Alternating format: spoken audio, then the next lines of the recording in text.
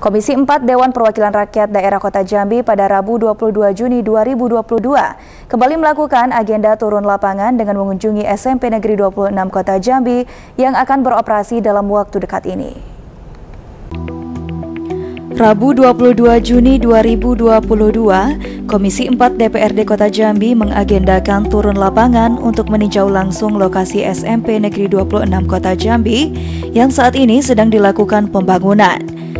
Dalam kegiatan tersebut, Ketua Komisi 4 DPRD Kota Jambi, Jeffrey Zen berharap agar penerimaan peserta didik baru atau PPDB tahun ini, SMP Negeri 26 Kota Jambi akan memiliki banyak siswa baru yang akan menimba ilmu di sekolah tersebut. Jeffrey Zen juga menyampaikan bahwa saat ini memang baru ada tiga ruang kelas yang sudah selesai dibangun, namun ke depannya dirinya berharap kepada pemerintah kota Jambi agar lebih banyak lagi ruang kelas yang dibangun di sekolah tersebut.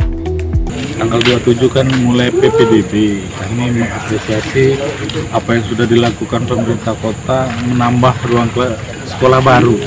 Sehingga kebutuhan untuk anak SMP sudah teratasi. Apalagi di sini di lingkungan yang padat penduduk. Jadi mungkin dengan dibangunnya SMP ini uh, peminatnya banyak. Hanya saja karena mendekati PPDB ini kami minta kepada Dignas supaya segera uh, mempersiapkan. Kalau dengan kondisi sekarang memang lokalnya sudah siap, cuman uh, mebel itu belum terpasang, mungkin masih ada waktu lah.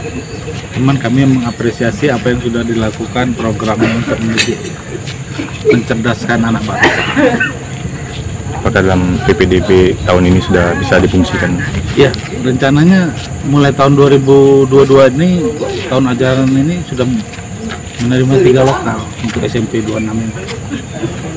Untuk akses jalan sendiri gimana Ketua? Sebenarnya jalannya itu apa? Ini kan dulu tanahnya tanah kota.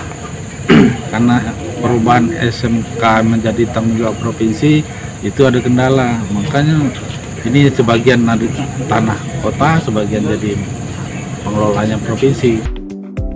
Sandi Jack TV melaporkan